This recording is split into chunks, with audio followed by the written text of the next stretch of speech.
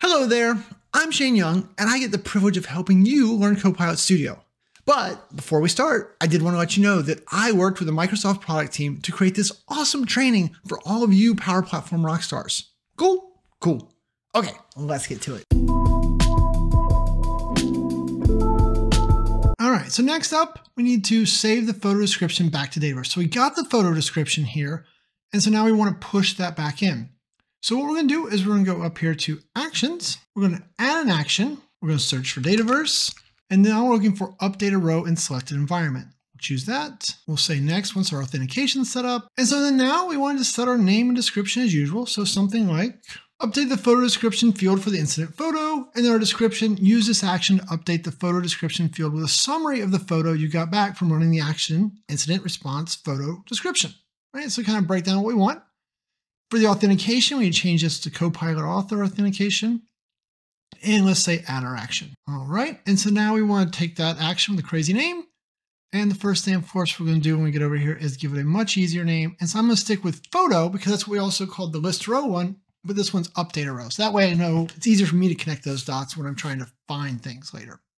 All right, everything else here is fine. Now for our inputs, for the environment, let's change this to set as a value. And then we'll go ahead and choose that Shane environment again. And then the table, set as value, confirm.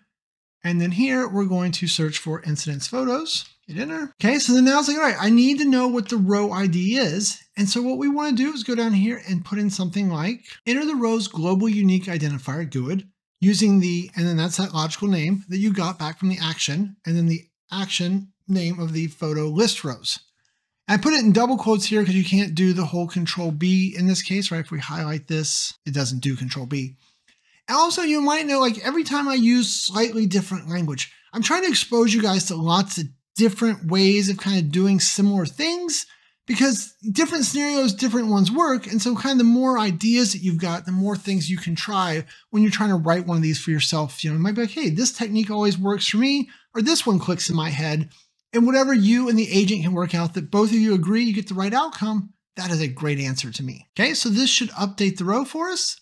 So then now we'll go ahead and say save. Now, one note I want to put here, you might be thinking, well, why didn't you just do this in the flow when you already had all this information? You could have just added another action over there. Great idea. I love that you're thinking about things like that, right?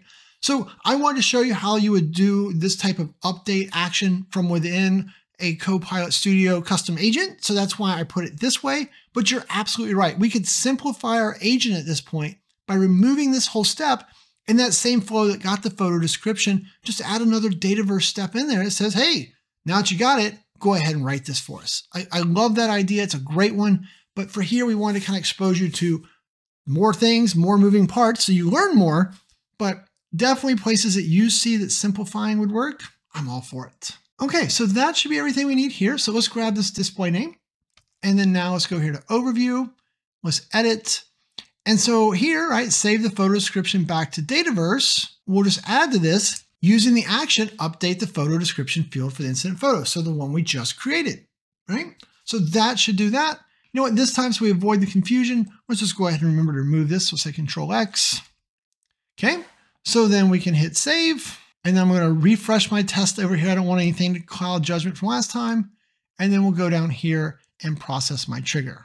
There it is. And we'll say start testing. Now, while this is loading, another thing I want you to know, if you expand this right here, I can see the trigger text. And if you wanted, you could actually copy that, have that in your clipboard and just paste it into the prompt and it would run. So you wouldn't have to go click the test trigger every time. So sometimes I do that just to be one less thing for Shane to do. But there you go. You can see our update the photo description is happening and all the fields came back. So this tells you that it successfully wrote it. And if we look over here, we should be able to scroll down a little bit and there's photo description. The image depicts a modern office, blah, blah, blah, blah, blah, blah. Yay! It wrote everything that we wanted. Okay. And then over here, it decided to just give us back kind of feedback. So you can see that, man, this thing is moving right along, right? Like we are getting the pieces of the puzzle that we want. So let's go back over here to overview and let's hit edit and let's paste back in our other instructions so we don't lose our place. And so we can see that next we want to evaluate the incident using our Word doc. So that's going to incorporate some knowledge. So let's go ahead and save that. And in the next video, let's talk about how to get that Word document knowledge in here.